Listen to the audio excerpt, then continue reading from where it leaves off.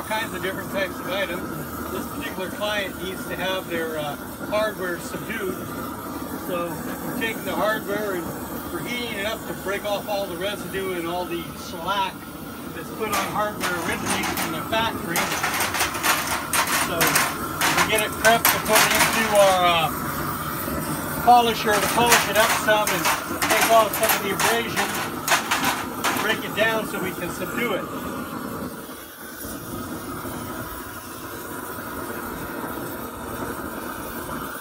We have our ne- neighborhood ghost here opening and shutting the door.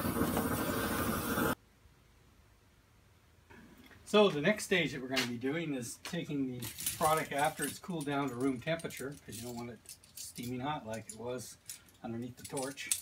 I'm going to place them into our tumblers here, with a medium in there to uh, do our uh, polishing up, taking off any of the excess residue that's on there.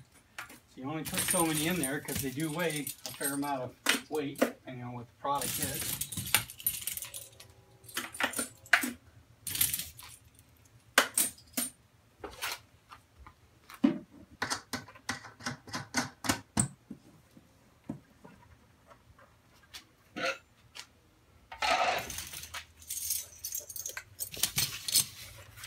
Medium there.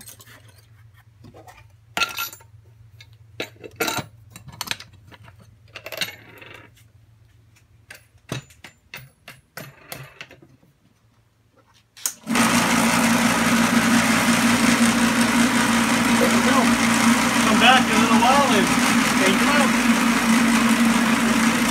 We've uh, through and through all our hardware through our tumblers here, and uh, this is the last bit of the group. We've had uh, four four sessions here.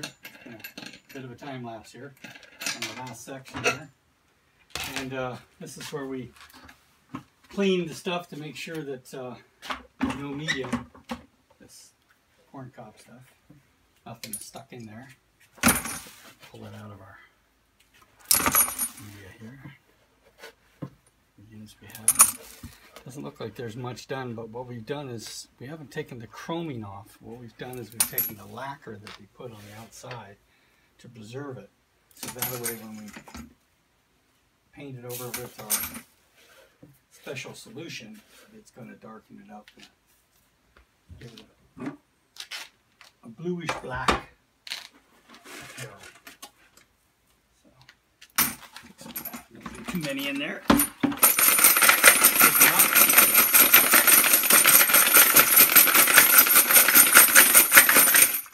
We want to make sure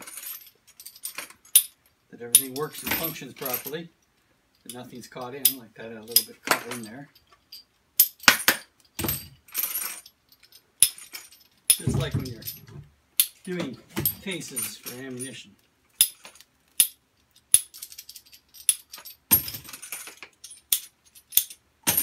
And then from here, we're taking the other end, and you're going to get to see us uh, putting our special finish on it. Starting to subdue it.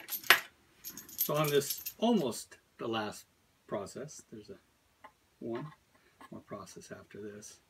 We're actually putting our solution on there, and you can see how it's changes fairly quickly.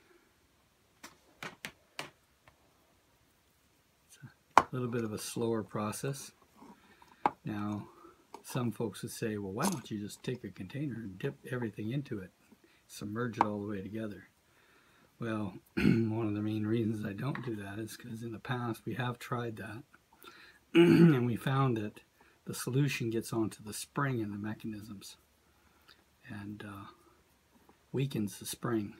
It's the same reason why we don't drop these into our forge and heat them up in the forge nice and fancy uh, because we um, don't want to take the case hardening of the spring out. If you heat it up, that's one thing, but if you get it into a forge and get it red hot toasty, you're going to take that hardening of the spring and the springs will snap easy. The elasticity of the spring, I guess you can call. Either way, that's one of the reasons why we don't. And uh, See there's little areas like this? They'll eventually work their way through and darken up. I may have to go back and hit that with a piece of sandpaper, but it's very few and far between. See over here some that I've already done. And sitting here, a nice rich. Here's County Rich. Here's one from before. Here's some buckles we did from before. Here's some rings we did from before. Now we're at the final video of portion, and you can we've oiled them up and that way they're all ready to go. Slippery. And uh, you remember what they looked like before? Now they look like this. All nicely subdued. Wipe them off a little bit more and they'll get a little bit more matted. So remember, you dream it, we make it, beavermountainworks.com. Like us, share us, and subscribe. Take care now.